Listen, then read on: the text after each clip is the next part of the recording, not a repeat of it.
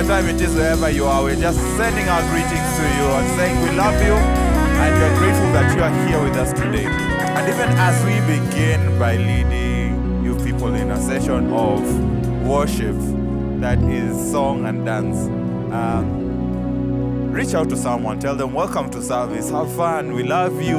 Tell them that it's a month of love and our love is extending beyond borders. So, even as we begin, get up onto your feet, stretch, Kick. Stretch your arms as we are about to go into worship, in other words, warfare. So, um, the word of the Lord says, enter his course with thanksgiving, and we want to thank him for everything that he has done. Are you ready, guys? Yeah. Come on, let me take your position. Whichever dance move you choose to use, it is acceptable in his court judgment. I come before you today, and there's just one thing that I want to say. Thank you, Lord. I just want to thank.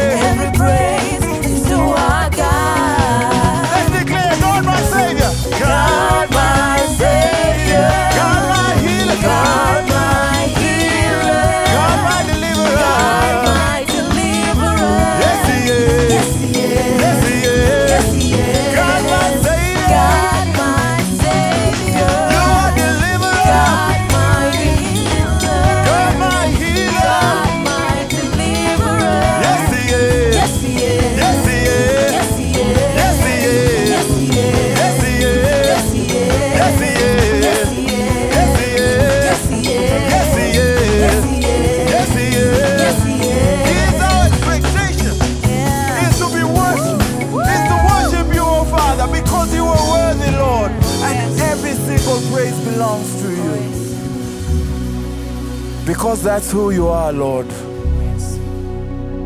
You are all that and more. You are all that and more, Lord.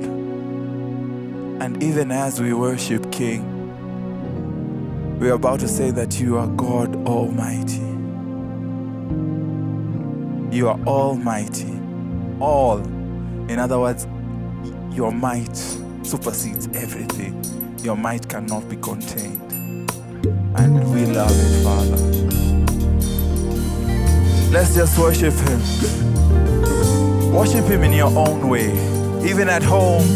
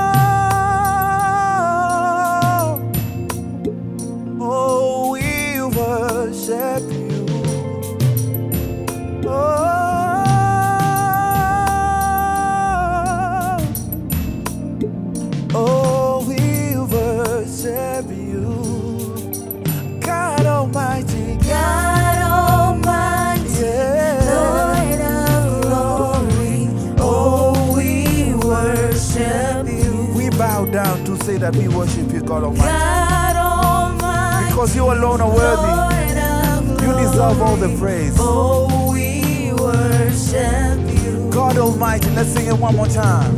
God Almighty, yeah. Lord our Lord, you alone Lord, deserve oh, we worship.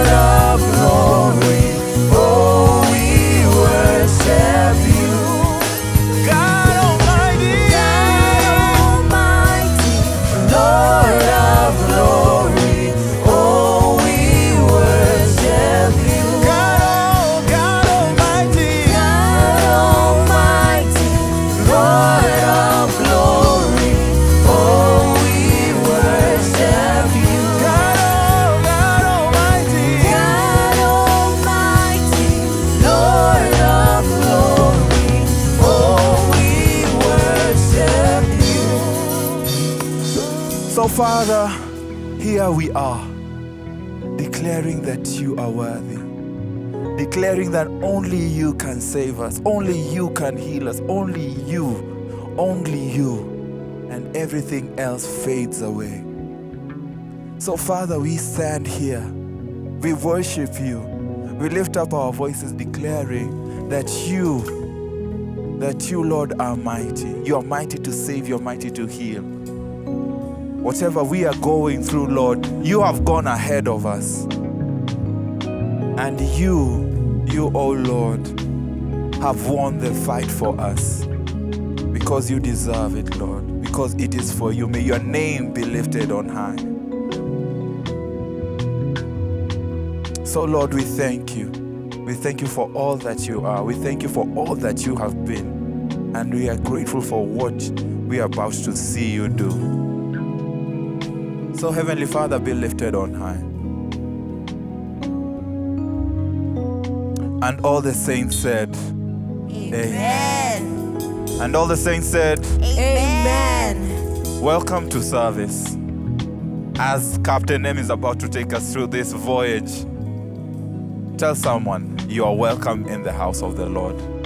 Invite them, say hi, remind them that ah, it's not the destination that makes us, but it is the journey. So we bless you.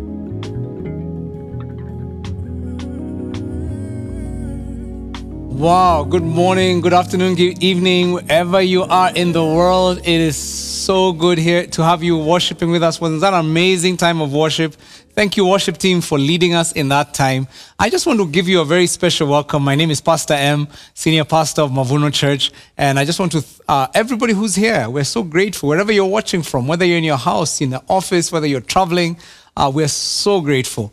That you've chosen to come and join us as a family as we worship together. And uh, this is going to be a fantastic service. I'm really looking forward to the things that God has, the exciting word that God has for us. This is there's a great series we're going through, and so I'm so glad you're in church today. And uh, if you are watching this from home, uh, wherever you're watching this from, uh, I'd love you to go online right now. Uh, there's a little uh, uh, um, what do you call it, a little form we'd love you to fill. And this is how we are able to track our online congregation and be able to see where you're watching from. So we can begin to pray and maybe even find ways to connect uh, with you wherever you are. So uh, do fill that out. Uh, it's on the screen, the, the, the Mavuno at home uh, login there. Uh, just go on. It's very quick. It'll just take you a couple of minutes. And you know what? As you do it, uh, it's, so, it's so amazing. We've had people fill this out and then it's proved to be in a place that was close when we're traveling somewhere and we're able to say, hey, we're coming to your city, uh, would love to get together. It's just a way we can do that. But also as we pray for you and care for you, it helps us know where you are and who you're watching from, uh, where you're watching from. So please fill that out. And it's just a way of saying I belong and this is a place that I'm part of. Even if you're a visitor and you'd love for us to just be able to pray for you this week, uh, please fill that form. So now, uh, before we go into uh, God's word today, I really want to uh, uh, encourage us uh, because in this year, one of the things that we've challenged our congregation to do is, not, in addition to our regular tithes and our offerings, to give what we call our first fruit offering.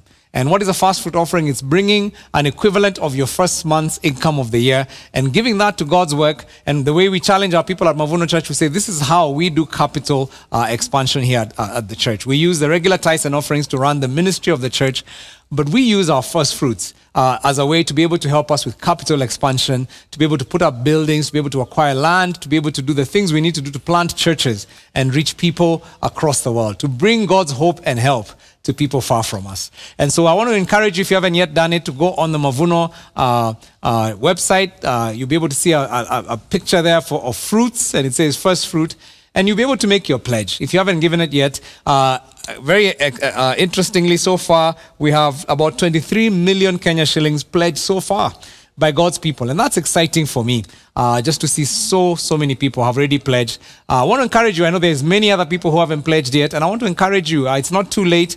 Uh, please make your pledge and then trust God. I think one of the things we've talked about, and we talked about this last month, is that there's nothing like giving to help us grow in our faith uh, it really helps us grow in our faith. And I want to challenge you because there's a way First Fruits does that uh, for us. And so um, uh, before I pray for us, uh, Deuteronomy chapter 26, and it, it, it says a very interesting thing. Uh, this was when the Israelites were about to enter their promised land. And God gave them this promise in the book of Deuteronomy through the, their prophet Moses. He says, When you've entered the land the Lord your God is giving you as an inheritance, and have taken possession of it and settled it, take some of the first fruits of all that you produce from the soil of the land the Lord your God is giving you and put them in a basket. And then go to the place the Lord your, your God will choose as a dwelling for his name. And basically, what they were to do is give this to the priest, and it was supposed to be used for God's work. And uh, what we want to do is just to say, hey, this is what we do. It's, it's a way that you symbolize. They were symbolizing, you know, the promised land we didn't bring ourselves in. Uh, it's not us who acquired it for ourselves. God is the one who brought us into this space. And by doing this, we're acknowledging everything we have belongs to Him. The rest of our produce for the year belongs to Him. And He's the one who's going to supply for us. And I want to just encourage us to do that. And as we do that, I really want to trust God for a season of miraculous occurrence. Uh, this is a year when God has promised us acceleration with ease. What's acceleration with ease? What basically this means is that God will accelerate you. Acceleration usually means that you're moving fast. And moving fast usually has stress with it. But the promise God gave us uh, for 2023 as a church is that there'll be acceleration and ease at the same time. And I believe that even as we take this step of faith, that one of the results that many of us will be able to testify, one of the miracles that many of us will experience is acceleration and ease. And so I want to pray for us as we come into a space where we are waiting on God uh, for His word and also as we're giving. So, Father, Lord, I just want to thank you for your people. I thank you that, Lord Jesus, we are your people. Uh, you've called us by your name. You've called us to be an amazing community, uh, people who love you and who love others. You've called us to be ordinary people before an, uh, an amazing, extraordinary God uh, people who do fearless exploits and who are fearless influencers in the world you've called us to be in. And I thank you that this is a place where we are equipped. Right now, Lord, I pray for your people that even as we give, uh, as we stretch in our faith, as we give of our tithes, our offerings, our first fruits, that Lord Jesus, you will bless us uh, increasingly, abundantly, over and above anything we've ever experienced. I pray that, Father God, you're going to just allow us to see your goodness in the land of the living. I pray for those who may be giving just out of faith. I don't have much, but I'm going to give what I have, and it's a step of faith. And I pray that, Father God, as they give, you're going to grow their faith to understand that they can never outgive God. I pray that, Lord, you're going to raise up kingdom financiers in, in our midst as we grow in our faith to understand that, my goodness, God can trust us with wealth. As we're faithful with little, He's able to give us more that we can be faithful with. And so I bless you, God's people. And I pray now, even as we come into God's word, Father, open our hearts. There's a powerful word you have for us today. Uh, open our hearts, get us ready for what you have for us. And I'm praying that, Lord, there's going to be healing of relationships. Uh, there's going to be a, a, a, a, tearing down of curses, of things that have held us back in our relationships. And that, Lord, every one of us is going to experience the goodness of God in our relationships. And so I bless you, God's people, uh, in the name of the Father, the Son, and the Holy Spirit. And God's people say, Amen. Amen. Dearly beloved, uh, today we are gathered here to celebrate the wonderful union uh, between Philip and Elizabeth. Kindly join me as we celebrate these wonderful lovebirds. We are going to be so happy. We are the perfect couple. I'm so glad the traffic wasn't so bad. I can't wait to see her. I hope she looks the same in real life as she does on Instagram. Frank said she was a vibe. What on earth does that even mean? Phil? Whoa, such a gorgeous smile. He has a beard. Yes. Thank, Thank you, Frank. I got you hot chocolate. I was told you're hot and chocolate in color. Oh, wow. Thank you. I don't know if that was appropriate. Quick, say something. Why would someone get a hot beverage in this heat? So, do you like movies? Failure. Yeah, I love comedies. What? No, I don't. Oh, wow. I like Kevin Hart and all the other guys. I can't stand comedies. Actually, movies is where it's at. Um, so, what are you looking for in a relationship? Someone who is very independent. Someone who I can do everything with. Someone adventurous. Someone who likes to stay at home. Someone who doesn't talk too much. Someone who will listen to all my stories at the end of each day. Someone who makes roughly what I make or less. Someone who isn't intimidated by how much money I make. I hope she wants to travel fast and have kids later. I hope he wants us to have kids and then travel all over with them. Someone authentic and with a vibe. Um, me too. Me too. Wow, um, it's already five o'clock. Is he bored with me already? Or does he want to save some more for the second date? Should I escort her to a stage or a car? Is that creepy? Is she even going home? Or is she even going elsewhere? Should I hug him or shake his hand? Think, think fast, think fast. She's standing up. She's standing up, boy.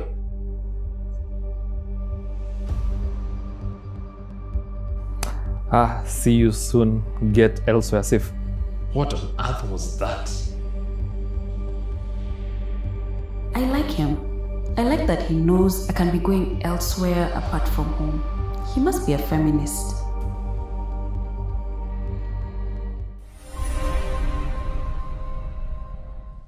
Good morning.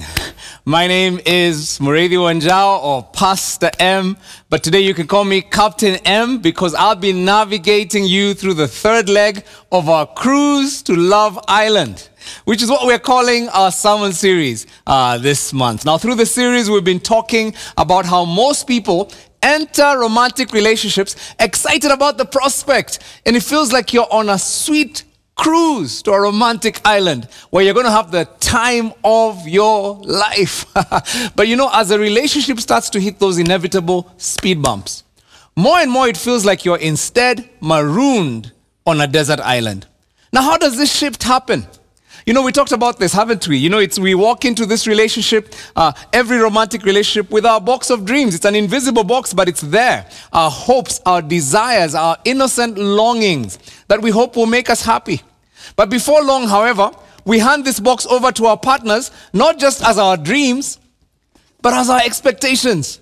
And what we're saying to them now is it's your job to fulfill my dreams. It's your job to make me happy. And you know what happens when we do that? The biggest casualty of expectations is gratitude. Because whenever he or she does something to you, uh, for you, you figure they owe it to me anyway. I mean, that's their job description. I mean, every husband should do that, every wife should do that. And that's why we said we must enter into relationships knowing that everything we give must be freely given, expecting nothing in return, and that we must practice the attitude of gratitude in our marriages. Now, last week we cruised a little deeper into deeper waters and we talked about uh, how to get unstuck when we're in that uh, chain of uh, unmet expectations. And we talked about the principle of submission, mutual submission. God wants our marriages to be a model that teaches a watching world the kind of loving submission that we should give to God as God's people. And also, by, and, and basically, we say that when a, a, wife submits to her husband, as the scripture teaches, that she's demonstrating how we as God's people should submit to God. It's a, it's a demonstration to a watching world. And when a husband dies to his wife, uh, when he puts her needs above his needs, then he's also demonstrating to the watching world how radical Jesus' love is for his church. And every every um, every Wednesday night, by the way, I just want to say this uh, for for my online audience here. Uh, every Wednesday night at 5:30 uh, uh, p.m. East Africa time, we have what we call on the Mavuno YouTube page. We we call it Family Night. And at Family Night, by the way, we've been sharing examples. We've been going deeper every week. Uh, we take what we talked about on Sunday and we go deeper and we talk about uh, how these things are working in our own marriages. And so if you've never been to Family Night, this is a great month for you to join Family Night. Come this Wednesday, 5.30 p.m. East Africa time and bring a friend as well because I believe that this series is saving lives and saving marriages. Now there's still a question that I'd like us to answer today that we haven't yet answered. And that is, what are we supposed to do with our box of hopes and dreams and desires? I mean, we've got our box of dreams and their desires re- regarding children. I mean, what kind of children are we going to have? How many are they going to be? How are they going to be raised? All of us walk into it and we have some kind of idea about this. It's a dream about money. And it's like, my goodness, in my dream, I'm talking about money. What kind of resources are we going to have? What kind of house? I mean, what, what kind of lifestyle are we going to have? What kind of jobs? This, this, this money thing is a big one for couples. By the way, they say money is one of the leading causes of divorce and separation worldwide. And it's a big thing because it's in our dreams, all of us. It's, it's, it's, it's about where we're going to live. We all have a dream about the house, the dream house that we want to live in and what kind of neighborhood we want to live in. We've got a dream about our careers. Let me see if I can find careers in here somewhere. yes, right here. You've got to dream about the careers that we want to have. Are we going to be career people? Is, is one of us going to be a stay home parent? And you know, it's interesting because we come in with our own dreams about these things. These are our deeply held dreams. It's, it's about our lifestyle. What kind of gadgets, what kind of toys, uh, what kind of cars are we going to drive? And you know, we are coming into this thing with, with a box of, expect, of dreams. Uh, what kind of education are we going to have? And we're walking into this space with deep longings and desires about how relationships should work. Now, the, the problem we say it is when what, these, what seems like very innocent dreams and hopes and desires are interpreted as expectations to the person that I'm with. And soon they become a heavy burden for this person, a burden that is too heavy for them to carry. And here's the problem because they were not designed to carry their box, that, my box, they will inevitably let me down. There's no person who can carry the, the weight of my expectations. And here's this spiral that happens in marriage. You have the dream becoming the expectation, and when the expectation is not met, guess what happens? It turns into frustrations. Dreams become expectations, which lead into frustration. I become frustrated because you promised me things that you're not delivering. There's a lifestyle that I expected that I'm not getting. I desired a certain level of intimacy that I'm not getting with you. There's a way I wanted to be treated, uh, to be loved, to be respected that is not happening. And guess what happens? We're both two people in a marriage and we're both frustrated. And the question we asked ourselves is what do we do? What do we do in our dreams turn into frustrations? What are we supposed to do with these le- legitimate desires that are in our box? Is it too much for a husband to desire a wife who respects him? And who speaks with res- in a respectful tone to him. Is that too much, really? Is it too much to desire a husband, for a wife to desire a husband who's responsible with money and who treats her like a queen? I mean, what should we do with legitimate desires when our spouse does not seem keen to fulfill these desires? Will our desires ever get met? And if they don't, what are we supposed to do when we're in that space of frustration? And you know, I want to say this when many couples get into this frustration space, three options. There are three options that they take with their box of dreams. Actually, uh, several options, but I'll, I'll talk about a few of them. The first one is to ignore it. Just ignore the box. I mean, pretend it doesn't exist. Uh, it's like, fine, I'm never going to get it happening, so let me just pretend that this thing doesn't exist. And you know, because what, what I'm really saying is, you know, if I give and give and give and nothing's happening, I'm just going to pretend. Let, let me just live in this life like nothing ever happened. But you know, here's a dangerous thing. What happens is when you don't acknowledge, uh, when, you pre- when you pretend these things aren't there, they're still there. They're underneath the surface. They're still rattling in there. They're in your heart and in your soul. And when you suppress them, they will still find a way to come out. They'll come out as, as, as anger, as suppressed anger. They'll come out as bitterness. They will even come out as illness. And many times, what you're going to find is that you're not going to be a healthy person and your relationship has no chance of being healthy. Uh, a second option for the people who choose, okay, fine, I'm not going to ignore it, what they do is I replace it. I replace it. So what do I do with my box, I basically put my dreams and my desires into my work, into my kids. I, I find out another way to put those dreams and desires into, into sports, into my friends, into hobbies, the things that help me deal with the pain. But here's the thing. As much as these things help me deal with the pain, they don't actually deal with the, the, the elephant in the room that I'm stuck in a relationship that is not working. In fact, this solution of replacing, basically what it does, it even pulls us further apart because we become nothing more than roommates. And I can tell you that nobody was dying to get married so they can get a roommate. there are different reasons we got married, and that's not one of them. So it's not fun. And, and so a third option for some people who choose, okay, let's do a different thing, is to push it. So we take our disappointments and our box and we just constantly push it to our spouse. And it's like we nag them, we criticize them. Hey, I hate being frustrated. Honey, we need to talk. Have you ever been told, honey, we need to talk? It's like one of the most stressful things a guy can be told. I mean, we get angry, we shout at the person, we become passive aggressive with them, we withhold affection, kneel by mouth. And it's one of those things where it's like, I'm just punishing you for not giving me what I want. But you know, over time, you're going to realize that even though you might get some quick results, that that model of pushing frustrations to the other person will not ultimately work. Actually, it end up hurting your marriage. It may work uh, briefly, but in the long term, you're actually destroying your marriage. And so many people, when they're stuck with those three options, they figure out the only option left is to leave with my box. And basically, how do you leave with it? Either by having an affair, and so it's like, I'm going to look for somebody else to fulfill this, or by walking out of the marriage altogether. It's like, I'm done. I can't handle it. I mean, you're obviously not giving me what I came here for, so I'm gone. This is not what I signed up for. I can't manage this. Now, the challenge for many people who've done this and who've taken this route, and it's a very common route today, here's a challenge. Let me just tell you what the challenge is that wherever you go, there you are. What do I mean by that? In other words, when you go with your issues, whatever part of the problem you are causing in the relationship, because every relationship has two people, and every problem has, has two sources.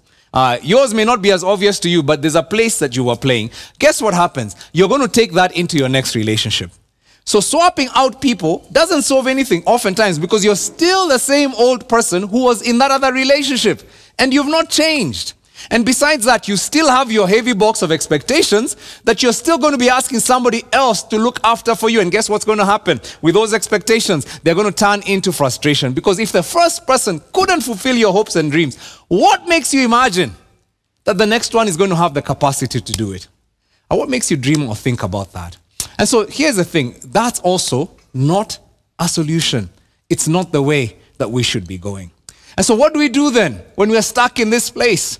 When we find that, listen, we're, we're, we're not able to walk away, you're telling me that, listen, I can't, I can't sublimate this, I can't just take it elsewhere, I can't just ignore it. What do I do in that situation? So, what are we supposed to do then? How do I deal with my box of frustrations? You know, there's a great example of dealing with frustrations in relationships in Psalm 55. And that's a psalm of David. King David actually wrote this. And let me say something as a disclaimer. This passage is not addressing dating or marriage relationships specifically. It's more of a general friendship text.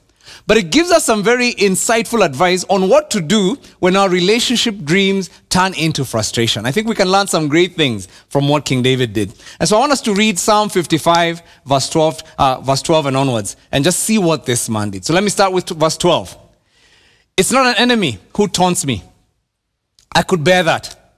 It's not my foes who so arrogantly insult me. I could be hidden, I could have hidden from them.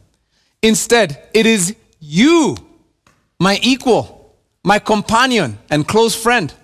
What good friendship we once enjoyed as we walked together to the house of God. Now, I don't know if you've ever felt like that in a relationship, wounded by someone who you thought should have known better. I don't know, have you ever noticed that the ones we trust the most are the ones who have power to hurt us the most? And that's exactly what's happening here. David is talking to a close friend, a close companion, somebody they, they, they worship God with, somebody they were tight, they were buddies. And then he says, I didn't expect it to be you who would stab me in the back.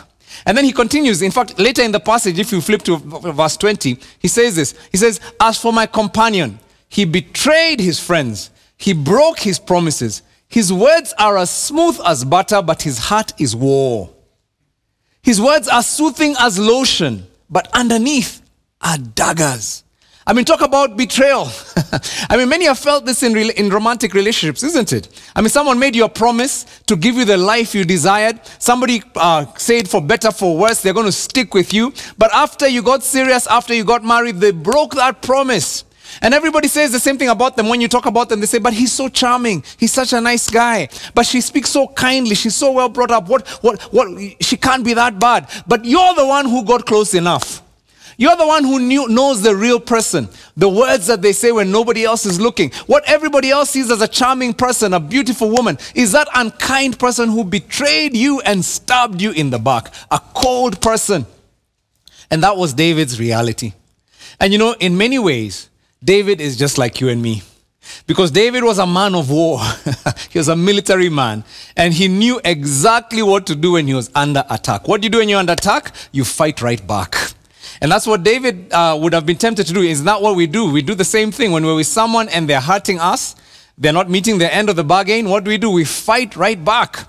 And the more pain we felt, the more we fight back. In fact, sometimes we fight them very aggressively. We coerce them, we control them, we manipulate them, we, we raise our voices, we, we power up, we manipulate them until we get what we wanted in the relationship.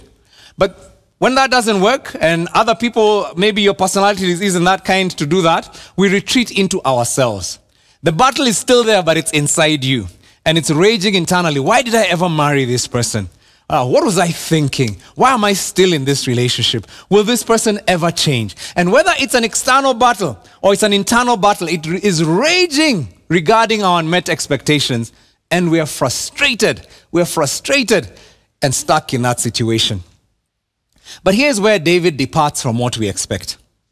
Instead of choosing to fight his friend, he goes a completely different route.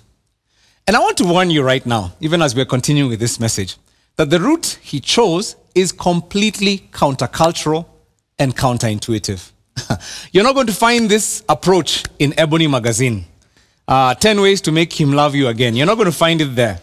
You're not going to find it in a relationship podcast. Three steps to make up before Valentine's Day. Uh, you're not going to find it there. Uh, you're not going to find it in a bridal shower. You're not going to find it hanging out with your boys. Even if you go to a salon, or listen to a sex therapist, all the places where people get relationship advice, you're not going to get the advice that we're going to read uh, that King David writes. And why is this? The reason is because what he's going to tell you is God's wisdom, and God's wisdom is going to sound very weird, but it's the only proven way to turn your frustration into a lifetime of joy and freedom. So, are you ready for it? Like I warned you, this is not going to be easy for you, but I hope you're ready. Because this stuff, it's life changing. So here's what David does. Let, let me tell you what he does. He picks his box of frustration and he throws it. He throws it to God. He throws it to God. Okay, I know that's not what you're expecting, right? it's not what you're expecting. But that's exactly what David does. He takes his box, He fills it with all the frustrations he can. And he looks for God and he hurls the box to God with all his might. Listen to what he says in verse 15. He says, Let death take my enemies by surprise. Let them go down alive to the realm of the dead, for evil finds lodging among them. Now, I mean, first of all, just hold up, hold up. What is David doing? He's talking about his friend who betrayed him. And if he was using 21st century language, the language of today, he'd be saying, To hell with him. that's what he'd be saying. That's, that's basically what he's saying. Let him go to hell. Let him go to the place of the grave. He's actually saying that. And, and, and, and that's exactly what we'd expect someone to say when they're hurt. But here's what's happening. Here's what's weird. David is not saying it to the person who hurt him, he's saying it to God. He's praying one of the most honest, sincere, authentic prayers that you'll ever hear. He's bringing his raw, unfiltered, sincere, authentic prayers to God. He's bringing his pain to God and saying, God, you deal with him because I'm done. I can't handle. I can't deal. Uh, I, I just can't. That's what we say in Kenya. I can't. Uh, I'm done. and, and I know, here's the thing. If you don't believe that's part of a prayer, just look at verse 16 that follows right after that. He says, As for me, I call out to God. So he's like, like, he's like, let him go to hell. And then he says, verse 16, As for me, I call out on God. And the Lord saves me. Evening, morning, and noon, I cry out in distress. And he, God, hears my voice. What's David saying? He's saying, I pick up my, my box, all my frustrations, and instead of throwing it at my friend, instead of throwing it at my partner, I throw it with all my strength to God. I pray honest prayers about my frustrations. I report this person to God. Now, I suspect that some of you who are listening are saying, Really, Pastor M? I mean, you're saying uh, the solution to all my frustrations is prayer? I mean, isn't that a typical pastor thing to say? I mean, don't you have a more practical solution for me? But here's the thing the only reason you're thinking this way is because you've not yet understood the power of God or the power of prayer.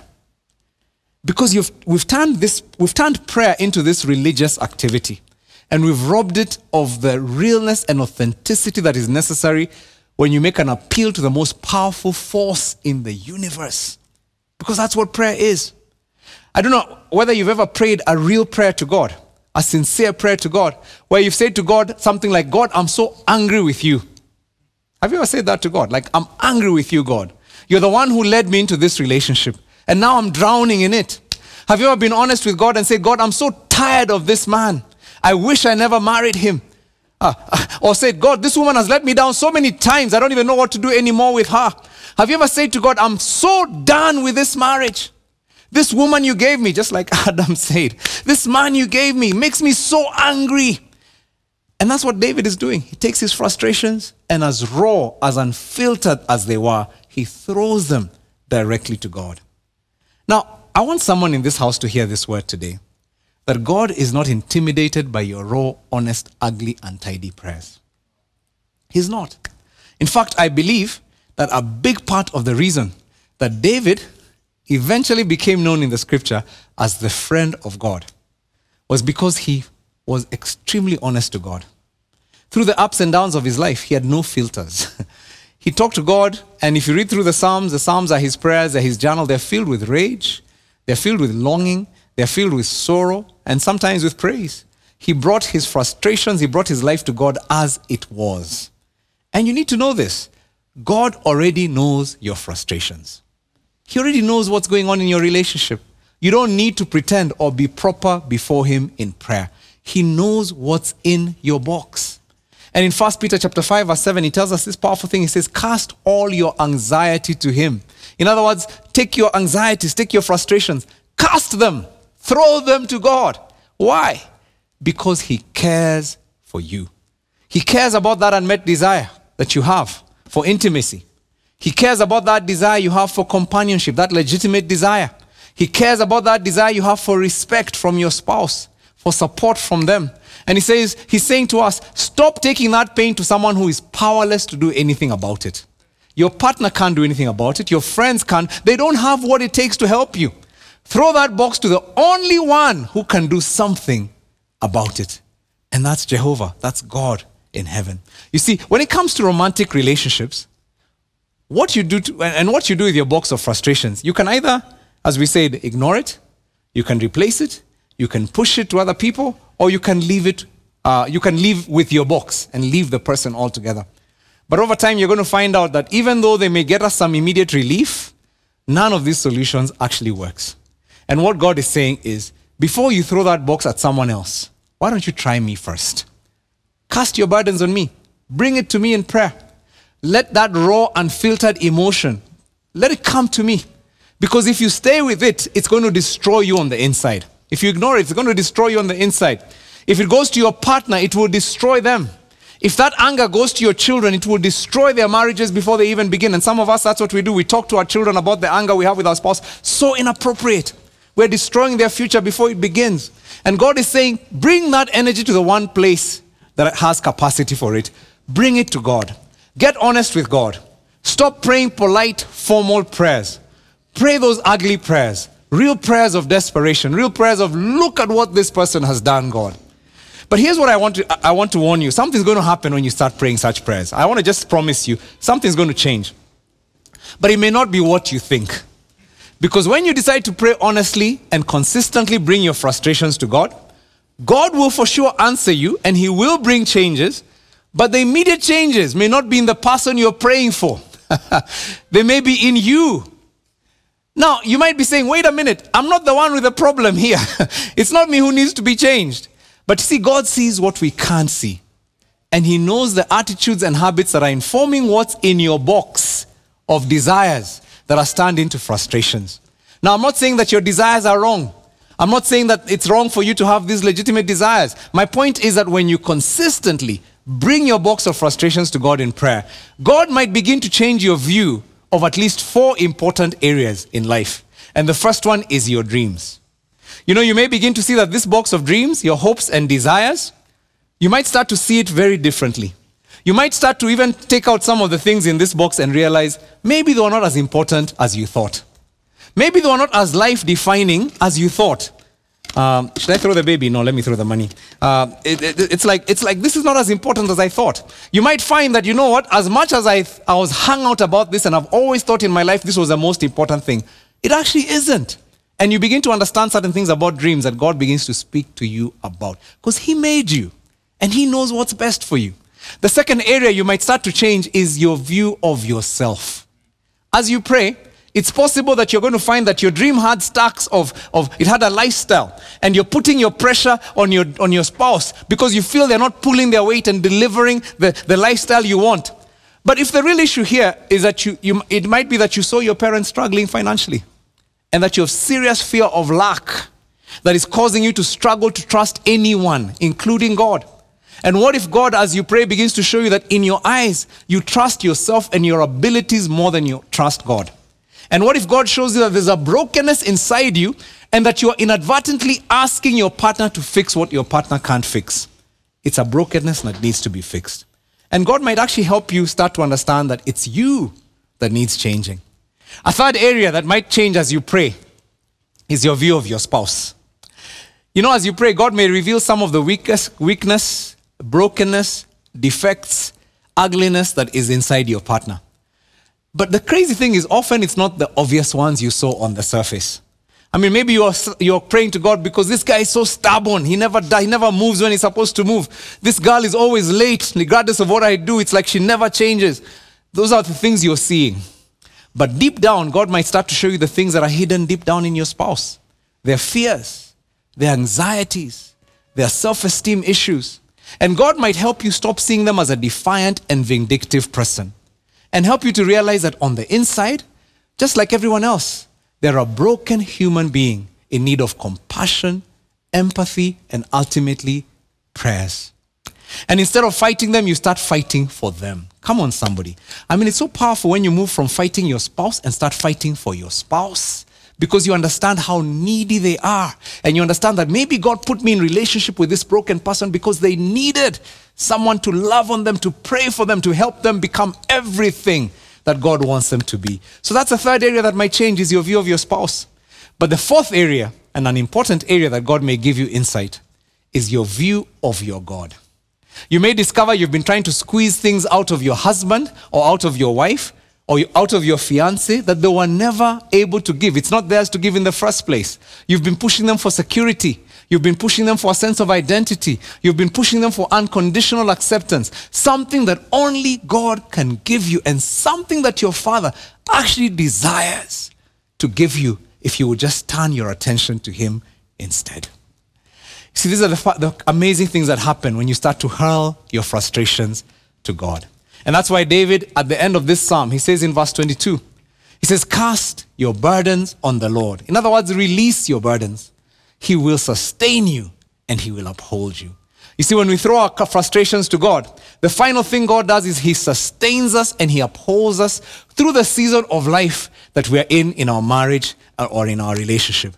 So, I mean, you could be like everyone else. You could choose to, look, I'm in frustration right now. I'm- my marriage is in so much pain. My relationship is in pain. I'm going to either ignore it or, or replace it or push it to someone else or leave with my frustrations. But that's a one way ticket to destroying your relationship.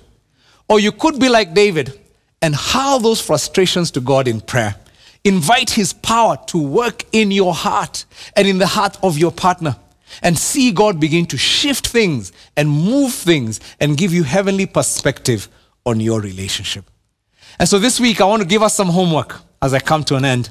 So far, we've, do- we've talked about the gratitude challenge, finding things that you appreciate about your partner. By the way, that was not just for week one. I want to just continue uh, finding things to say thank you, unusual things, things that your partner does that you are taking for granted, and now you're finding ways to say thank you. I've also asked you to list what's in your box and even to ask your partner what's in their box. Now, this week, what I wanted to do is make an honest list of all the frustration, for those of you who are married, especially uh, in a relationship, of all the frustrations you have in your marriage. And then take some time to talk honestly to God about them. And let me just say, as people make this list, uh, those of you who are single, I've found that many people who are single have been applying this message and finding dramatic shifts in their other relationships. So maybe the relationship that's stuck in your life is a relationship with a parent. I want you to do the same thing. Just make that list of all the things that frustrate you. And then this week, just take time to hurl those things. Talk to God as honestly as you can about those issues. Now, uh, uh, let me just say this as before I pray that we have an amazing event coming up for married and engaged couples uh, in March, this coming month. It's the Ndoa Festival. It's going to take place March 18th to uh, 16th to 18th, 2023. It's going to be a great space to get even deeper in this conversation. And I want you to just check it out on our website and reserve your space early. And then invite all your friends who are married, engaged, uh, because this is going to be just one of those life changing spaces that's going to help all our relationships become everything that God wants them to be. And next week, I'm going to be concluding our series. I'm going to be talking about, let me just say this, it's probably the most important choice that any coupled person can make in the course of their relationship. I mean, we're ending on a bang. We're ending with on a high, with a bang. And so please, you don't want to miss this one. Invite your friends, even if they've not even been following the series, invite them to be part of next week because next week we're going to be ending with an incredible hack, a life hack for relationships. And it's going to be one that's going to help you in your marriage relationship, in your in your relationship with your friends, your your family members. Uh, it's going to be one of those that's going it's just a life-changing hack and you want to be there. You could save a marriage, so invite someone to come with you uh, to church next week. So allow me to bring this to a, a close and just pray for us as we conclude. Father, thank you for your children. Thank you because you love us. Thank you because, Lord, it is you who's giving us your word. And that, Lord, you are helping us to understand the things you're calling us to as a community. Loving relationships, relationships that build one another up, relationships that attract people to God as they watch us relate in love to one another. I want to pray for anybody who's been dealing with their frustrations by ignoring them, by replacing them, by pushing them onto their, their partner, or even by leaving, because there's some of us who've even left our relationships to find solace somewhere else. But Lord, I just pray that you'd give grace to us as we reflect on this, your word, and help us to understand how to apply it in this season. I pray for you, especially if you're in that situation where you've even left your spouse, maybe you're even separated right now, and God is beginning to speak to you right now. I want you to, I, I just want to pray for you that God will give you the grace this week to bring those issues, cast your burdens on the Lord, and He will sustain and uphold you. And I just pray that, Father God, as we do this, as we practice this powerful word, that, Lord, none of us would remain the same. Bless us in our relationships, for we ask this in Jesus' mighty name. And God's people say. Amen. See you this Wednesday, family night. God bless you. I come before you today, and there's just one thing that I want to say.